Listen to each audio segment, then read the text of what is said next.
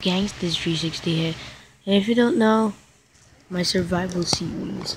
So, today, tomorrow, I guess, the start of the survival series is actually going to come tomorrow. So if you don't know, I've sent the seed.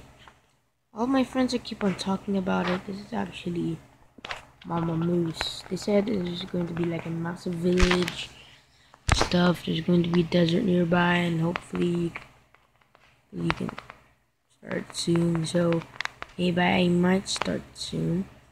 Since you check out the seed, there's actually a huge village right now, which is OP. If you don't know why am I quiet, it's because it's like kind of early here in the Philippines. It's kind of nighttime. I mean, I guess morning, as you guys can see the Philippines, Sunday, January 3. So, you want to be updated, if you want to be updated with more of these, make sure you comment below, is subscribe to my YouTube channel. Yeah.